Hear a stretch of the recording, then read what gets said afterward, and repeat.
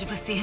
Eu ando muito ocupado. Eu tô preocupado com você. Ah, desculpa, James, eu tenho andado meio ocupada, sabe? O mundo não vai se salvar sozinho. A Supergirl sempre tem muito trabalho a fazer. Ela nem para mais para dar autógrafos. Mesmo super ocupada, ela arranjou um tempinho na madrugada para voltar para a tela da Globo. E agora você tem toda a minha atenção. Hoje, depois de conversa com Bial, Supergirl.